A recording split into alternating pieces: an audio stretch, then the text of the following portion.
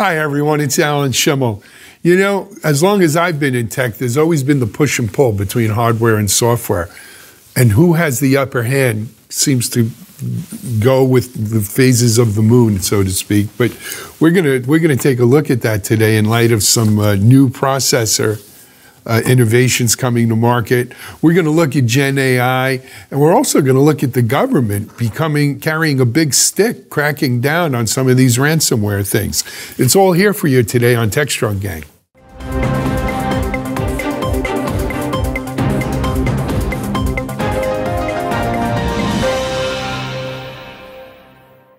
All right, welcome to the TechStrong Gang. I'm Alan Shimel, CEO, founder of TechStrong, and we're joined here today with our TechStrong gang regulars. To my far left, our Chief Content Officer, Mike Vizard. Welcome, Mike. In between Mike and I, our Echo Insight, sustainability, and all around uh, science kind of person, Bonnie Schneider. Bonnie, welcome. And joining us from Colorado, our CTO and principal research analyst at TechStrong Research, Mitchell Ashley. Hey, Mitch, welcome.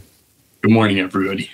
Okay, so Mike, what do we have on the docket today? Well, let's get started with this announcement from ARM where they're talking about their next generation of processor architectures that they plan to build with partners because they don't kind of build anything. They just work with partners who do all the manufacturing for them. But it's interesting to me that um, this is one of the latest announcements where it's heavily about the energy consumption. It's about how much these processors are kicking off in terms of watts. And I feel like every time I turn around now, somebody's talking about their energy and the infrastructure and how much that kicks off. And I know this is an area you track, but um, what's going on here? It seems like, you know, if, people nobody, care. Yeah, people care.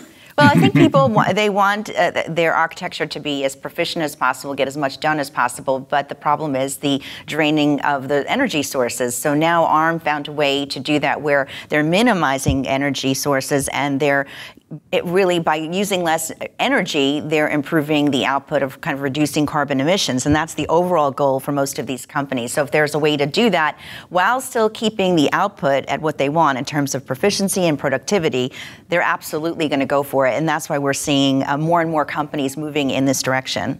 All right, Mitch, do you think people are equating cost and energy just yet? Because it seems like sometimes I wonder if, you know, outside of Europe, we're just checking a box and going, yeah, okay, thank you very much. But I mean, how real?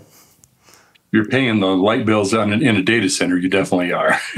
you feel it there. But the, these devices are also made to go at the edge, right? These are for a lot of network processing kind of things.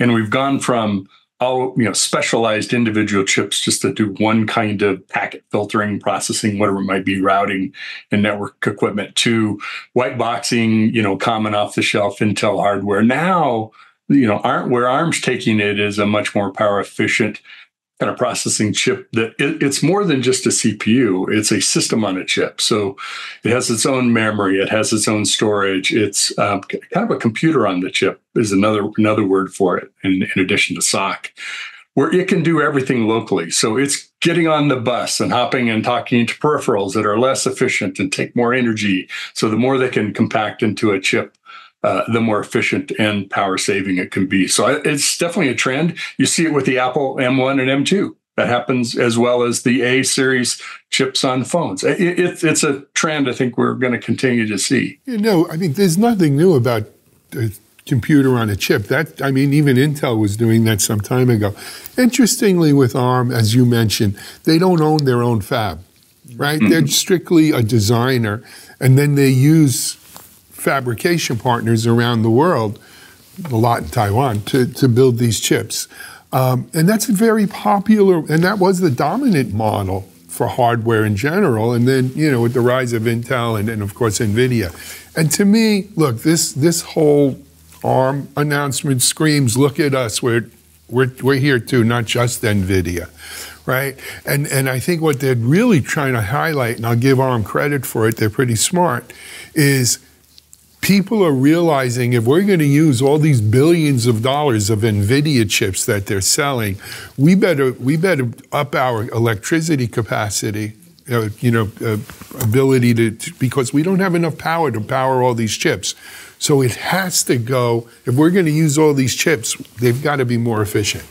I think there's two other things at play here. One is I can't get an NVIDIA GPU, so I got to figure out some way to run the inference engine at the edge because I, will be waiting a year for a GPU if I'm lucky. And the second part of that is we're seeing a shift where we're processing more data and analyzing it at the point where it's created and consumed at the edge. I need like serious compute power out there, but I can't, you know, burn down a switch at the edge of a, of a neighborhood because I got overheated with my processors and technology. So energy efficiency matters to drive the next wave of edge computing. So it all comes full circle back to you. It does, and I think that um, that's that's the, the goal. But the main thing is, I, when I talk to people, is well, how much is this going to cost us? And I think that ARM is saying not only did we reduce our energy use, but we're actually reducing cost as well because we're using um, architecture that's more compact, it's smaller, and it's going to require more energy less energy use. Yeah. Mitch, I want to come back to something that you pointed out. The architecture is changing. So, and he, you know, at the top of the show, we talked about the delicate dance between infrastructure and software how will the way we write software change? Because it used to be, you know, I had processors X, Y, and Z over here, and I had compilers for that. And now, if I have a SOC and there's different kinds of processors on the same SOC, how do how do I write a compiler? How does the software get written? How will this whole thing evolve? Well, it, there's a match between kind of the code repository libraries uh, that you have to like do a PyTorch application, for example, for AI, to being able to talk to specific hardware. And some of that can be taken care of at that level. But it's kind of like if I know I'm on a general processing CPU that behaves one way versus I'm on a, ro- rocket ship GPU that may be embedded within a Neoverse, which, by the way, you had me at Neoverse. What a great name for a chip. Um, um, you know, you now can do things that you weren't necessarily able to do, or you were having to buy specialized hardware in addition to kind of the, the service or the computer that you're running on. So I think it's a matter of that technical level. And then there's the innovation level of, well, what can I do now? Now that I've got this, you know, I'm not I'm not uh, beholden to one kind of chip, an AMD or a, an NVIDIA, to do uh, AI work. You know, Look, if if there's a lesson we've learned in, in 50 plus years of, of computer chips and silicon, is that what starts out on hardware eventually moves to software. And and software and for a lot of reasons, right? I mean, Mitchell and I were selling, you know, purpose-built appliances, right, for security 20 something, 25 years ago. And that almost in the blink of an eye disappeared because it was really it was you could do it at the software you could do it at the linux kernel ring you could do it there was no need to spend money on on high use specialized silicon. And that's going to happen here too. It's early so nvidia is having their day and arm is you know getting smart but it, it's going to software. I would say it's not that black and white. Um, we see like originally hypervisor sat as software and more and more of that moved into the instruction set of the chip. So some things move up in the software, but other things drop down all the way into the chip and the silicon and that drives performance. Well, no, what happened is what Mitchell said. That what moved down is the chip became a, a, a computer on the chip, mm-hmm. right? But but the fact is, a lot of this stuff, the software, eventually more and more of it get, gets into the software. It's not the silicon. It's a delicate dance, as we say. as I said. Yeah, no, it, it goes. And because another way of looking at it is the more that we push up into the silicon, the more uh, into the software, the more innovation we could do at the hardware, because now we have room at that hardware level to, to do more, pack more transistors and do, you know, do more calculations, floating points and all that kind of good stuff. I think the one thing we can agree on is there's going to be a wave of app modernization here. We talk about this subject often, but um, we have a conference coming up where that's going to be one of the things that we. And that's what we want to talk about yeah. when we'll be right back. Sounds good. SecurityBoulevard.com is the leading resource for news, analysis, and education on challenges facing the cybersecurity industry.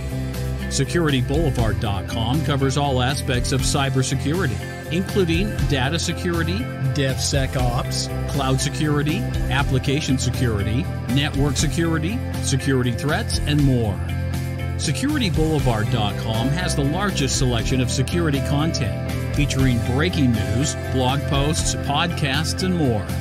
Visit www.securityboulevard.com to learn more. SecurityBoulevard.com, home of Security Bloggers Network. All right. Hey, hey, we're back here at TechStrong Gang. So we left off on app modernization. Part of this whole, you know, it has such connotations, whether we're talking about mainframe, a lot of people mention app modernization around the mainframe. A lot of people talk about moving, you know, making applications cloud and cloud native versus data center. And of course, that has a lot to do with what hardware we're running on, as we were just discussing, and also, quite frankly, Gen AI. If you're interested in this topic, though, you know our annual TechStrong virtual event is coming up. I, I believe it's in June. Uh, yes, June. And uh, if you go to techstrongevents.com, you can read all about it. We're just we still have a call for uh, speakers out there. People interested in sponsoring, check it out. But let, let's pivot a little bit from app modernization over to AI.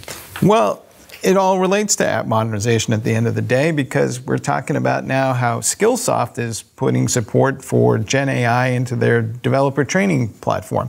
And the idea here is that as you're training developers, Gen AI will pop up. They're working with OpenAI and offer suggestions and evaluate, you know, what you've done for coding and maybe even throw you a test and certainly give you a summarization of the issues. Mitch, um, do you see that level of training required to master Gen AI? Or is this just more of a hands on thing? I know you're a hands on guy and you just kind of dive in and figure it out on the way you, as you go. I mean, how much training are we going to have to give developers and DevOps teams to work with prompts and master all this stuff? Yeah, I think you I think you talked about it. Learn it as you go, right? There's a certain the, the things that do prompt completion or, or code completion where it fills in the rest of your code or a line of code, those are pretty straightforward to use in the copilots and the things that are in IDEs. I think the next step is you, you need you need some knowledge, especially if you're a, a, more junior developer. You need some knowledge about how to figure out to write prompts to write code, just like we do whether we're using ChatGPT or DALL-E or whatever it is um, and, and there and that will get more sophisticated as well. But I think the, the idea of building that into our training is is a great move because let's equip people right up front. Start them out that way. Here's how you do this. Take advantage of this, and here's the other things you don't do without AI. Uh, but I think that's a necessity. They also talked about, I think, in one of the articles you had on DevOps.com about creating either large language models or maybe small language models around development and specific kinds of apps and things like that. And that is and will be a, a definite move we'll see in software development. Yeah, I think as we go forward, to your point, there's going to be LLMs for specific tasks, and, and each one is going to have a little agent that you invoke, and you're going to have to orchestrate all this stuff to kind of build an application, and that becomes the thing. But I'd love to get your take on is prompt engineering a, a job, job, or is it just a skill that we're all supposed to have? It is, today it's a job. Tomorrow it'll be a skill. To me, this is akin, you know, people of our, not yours, but people of Mike and Mitchell and my generation, the internet was a learning process, right? And we still are learning, some of us.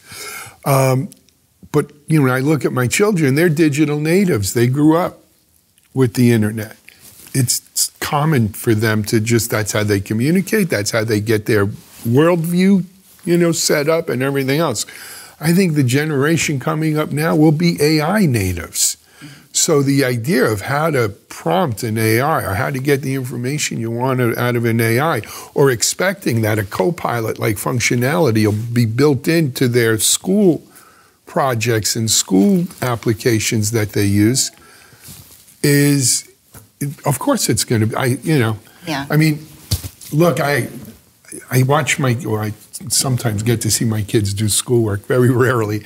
But even my wife, when she went back to get her master's degree, it's amazing.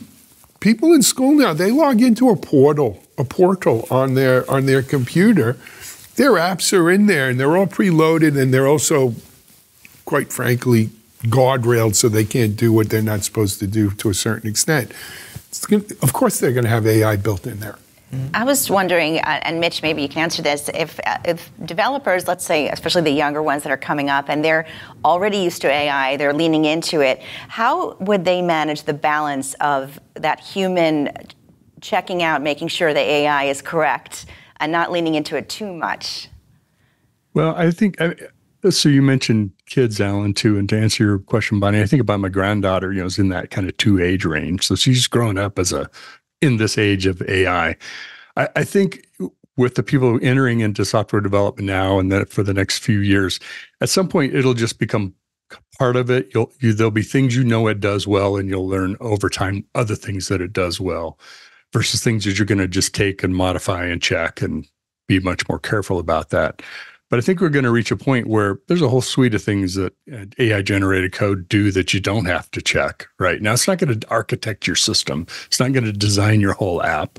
Today. A lot of articles talking about that design skill, that creative skill is really still uh, what drives the whole process and AI, AI is an aid to that. But kind of to what Alan was saying, I think w- there is a curve, point that curve where you don't think about it anymore, right? You don't think about the gas pump or the oil, whatever filter on your car, right? It just it just works, and we'll get there with parts of AI, maybe a lot of AI in development. Specifically to your question, look, I think today we're in a cycle where if AI wrote the code, we want to have a human check it.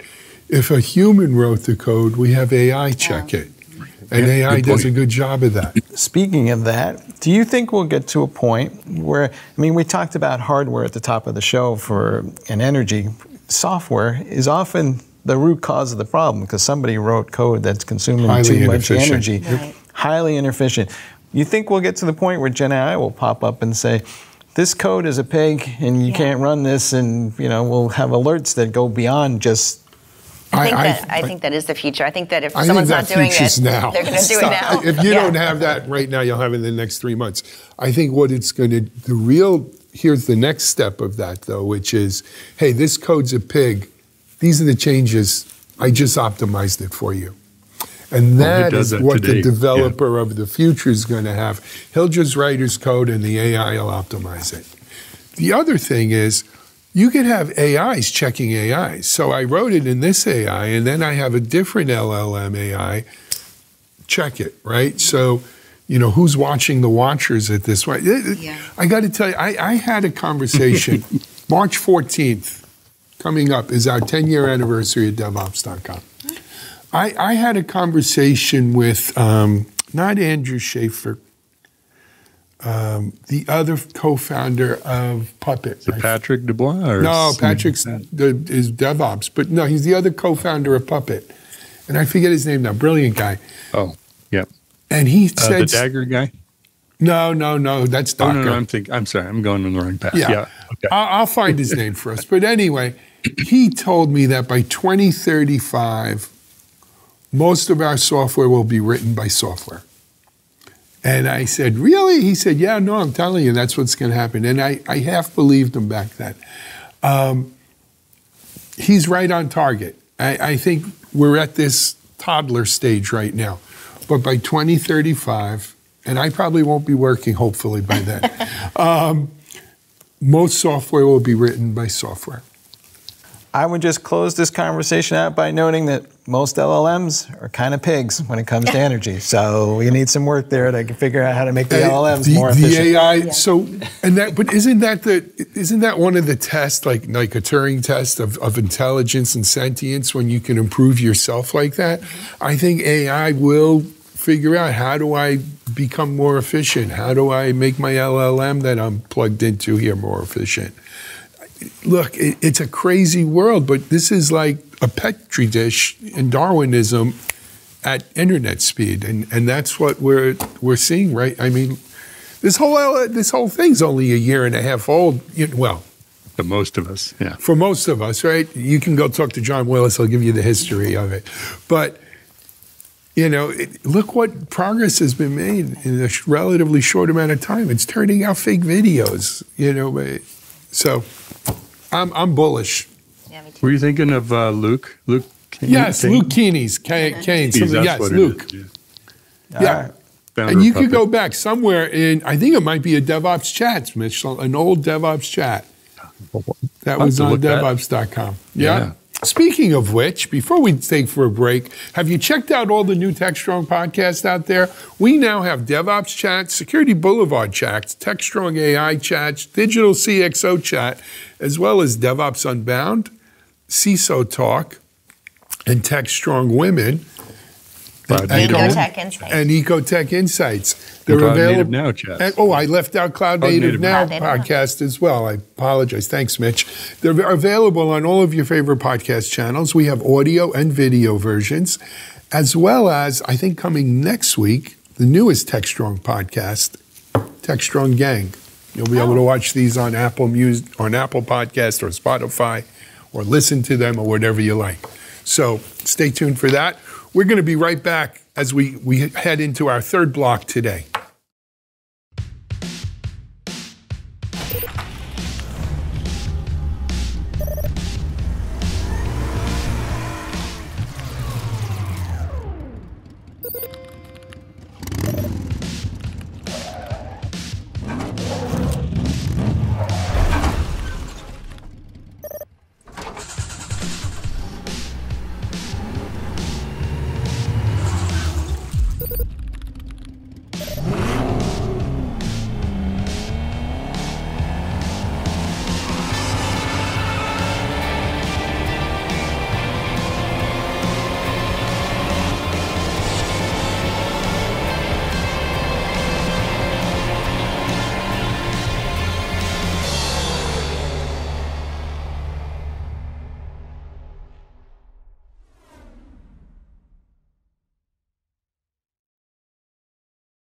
All right, we're back for our third segment, and we're talking about how the government took down these Lockbit ransomware folks. They seem like they're getting a whole lot more aggressive as of late. There are even bounties on cyber criminals. Why, it's just like the G-Men and John Dillinger. What do you Oh, think? Bonnie and Clyde, yeah. Not This Bonnie. Not this Bonnie, right. Um, hallelujah. That's what I say. I mean, thank, we need to do something. And, and it's great that the U.S. is doing it. I, I'm assuming that they're working hand in hand with Interpol and, I and some think, of the I other. UK did most of the heavy lifting. Yeah, Lock- and and because this is look, it's going to take a global effort. These people aren't contained in you know nation state borders. Um, we did, I think it was a TechStrong gang a week or two ago of uh, one particular segment of ransomware was over a billion dollars last year or something like that. This this is a menace that we need to rise up against and swat down.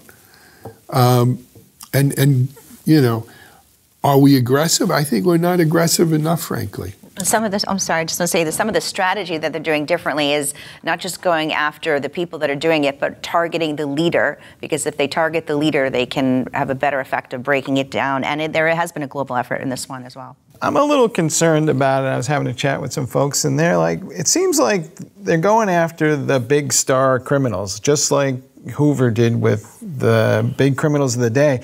Meanwhile, banks were robbed left, right, and center by smaller criminals that no one ever heard of during the Depression, and now it seems like the same thing is happening. It's like basically all these big star names branded cyber criminal syndicates will just go underground, and they'll be like, I don't really want that level of fame. Two things to that. I'm sorry. Go ahead, Mitch. You go Yeah, first. it, it reminds me of kind of how we go after terrorism, right? There's big groups, well named groups that we know governments go after. And now they're actually offering rewards. Like I think the US did what a $10 million reward for Black Cat, Black CAT, right? Uh, and you're right, they're going after the head instead of trying to, you know, get all the little parts at the bottom of the tree.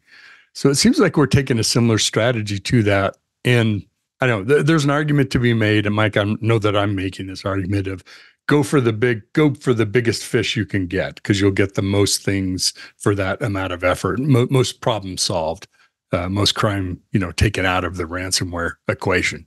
I'm not a law enforcement person, can't tell you if that's a viable strategy or not, but that seems to be what we're doing. So I, I think the better analogy than to G-Men and Hoover and the Bonnie and Clyde era is the drug cartels, right? They went after the cartel and the cartel leadership. And the thing that makes this kind of thing more like that and less like the Bonnie and Clyde's is don't think that all of these ransomware activities are not related. The fact is, Ransomware Inc., mm-hmm. right? It's like Murder Inc. or something like that. Ransomware Inc. is a global conglomerate but it very much has an ecosystem pecking order where it starts with the people who design the ransomware. They then sell the kits to the phishing guys who deliver it, who then sell the information they pilfer before they encrypt you to the next people who are then creating fake IDs and, and creating havoc. You know the old saying, stuff runs downhill. So it's a ransomware at a service. They, they, they, well, ran, it is ransomware as a service. Literally it's, is. You're right. It's it's Black Hat as a service, and not Black Cat. Black Hat as a service. This is a highly organized criminal enterprise, and you got to cut the head off the snake. Well, let me tell you how silly it's gotten. So I was at this Qualys event last November, and Rachel Wilson was there, and she runs cybersecurity for Morgan Stanley, mm-hmm. and she was talking about how now they basically just send them a note saying, you know, we could do this, and if you, if you pay us, we won't do this. And then, by the way, we'll tell you what we would do if um, we were to do it. And by the way, for an extra fee, we'll come in and clean up those vulnerabilities for you. So it's become this kind of ridiculous. It's, it's, like living in Sicily, you know, under the mafia yeah. or something. Yeah. Payola, right? Yeah, no, it's protection. It's protection. my payment. You know what? You don't want those windows broken. So before I throw the brick through the window, pay me. Really nice SaaS application you have there. Be a shame if something happened yeah. to it. how, how, does the how do different organizations prepare for something like that if it's coming, um, you know, with Fast and Furious and, and so many different directions? Um, maybe uh, what, what would you guys advise in terms of, of that? I think you got to minimize the blast radius is the first thing, and so it's going to happen. So the question is, is it going to be all your data, or is it going to be just enough data that you can live without it and the business can go on? So you see a lot of people talking about data security posture management these days, and there's a lot of focus on that. People are realizing that um, I may not give up my firewall, but that's kind of like just a frontline defense, and I need to kind of defend all these different pieces, and I need to figure out what data is valuable. And you would think that would be a simple thing to do, but it turns out IT people don't really know what the data is because they've been storing and processing it, but they don't really know the value of that data. Only the business people know the value of that data. And the two of them don't always talk so well together. That's a good point. So, this is a very common in the security world that Mitchell and I have been in 20 years. You got to look at it. You can make all the plans you want to try to stop them. God bless you. You're not going to. You've got to put an equal amount of time into what happens when I get hit. Mm-hmm. What's my recovery plan? What's my plan B? How to keep the lights on? AT&T is out today. Mm-hmm. I'm freaking out in the car on the way here because I thought it was just my phone. Um, we, you need your recovery plans. It's disaster recovery, DR. It's never been more important. I, you know, this is this is a real. I mean, it's classic, it's classic security stuff. I'll tell you who else. They're not necessarily a villain, but they have an outsized uh, influence in this whole thing is the cyber insurance companies. And maybe we could do that on a future show. But they're the ones who are dealing with the ransomware, negotiating with the ransomware people. They're the ones who are deciding to pay or not to pay because they've dealt with these people so much. And they're also becoming now the new regulator saying, if you want insurance, this is what I need you to have. How far should the government go? Because recently there was an example where they went, they got a court order, and because uh, somebody in Russia took over a bunch of routers in people's homes, the government went in and fixed all those routers on behalf of national interest. And most of the people who own those routers didn't even know it was probably happening. They just kind of got a court order and worked it out with the service providers, and away they went. Why don't they just go the full nine yards and say, hey, let's just start fixing stuff there when we discover vulnerabilities versus just sending me a note saying, you know, you ought to do something about this? That's what they do in Beijing. I don't want to live in Beijing. Right. I'll leave it at that. All right. fine line between help Yeah, and actually, yeah. totalitarianism. I, I just read an article this morning, actually, that in China they they've privatized their hackers. So the government actually pays them. I, I need to break into some Twitter X accounts. Uh, hundred thousand dollars. I give you the app Wow. to do that. I want to get into the U.S. DoD. Here, boom. Here's our. Thing, you know, it, it it really it's Crime Inc. Right and or Nation State Hacking Inc. Mitch, to be fair, I think uh, democracies give as good as they get as part of the problem here, the nation states, because they build all these fancy tools that wind up being sold on the internet for 10 bucks a throw. Well, where there's a problem, there's opportunity, right? in any Life will capitalist find a way. You know, we we had um, a gentleman, Stephen Baker, who was on CISO Talk. I think it was or mid year last year. I'll, I'll keep the, the link to the interview. Fascinating because he works for a firm, and he's he's the the go to person. Who do you call when you've been you know Ghostbusters? Who do you call when you've been compromised? And that's the kind of person you bring in about do you pay the ransom? What do we we have an incident response time, but you know should we shut down the server? No, it's, it's encrypting things right now. Don't do that but to work with people not only on the technical side of it, but to your point about um, insurance, cyber crime insurance firms, this is a, more of a specialist doing that, but helping you with do we pay? Do we negotiate? Do we move on? Do we ignore? What is our best strategy here? Because we aren't we, we we don't deal with this every day. We're not equipped with what to do. But but the know? interesting thing, Mitchell, and, and when the insurance company's involved, they take away your right to make that decision. yeah, that, They that's say the tough part. we're the insurance carrier. We'll decide whether we're going to pay or not. We'll decide what you, the response is going to be. You cannot negotiate with the ransomware people. You can't do anything.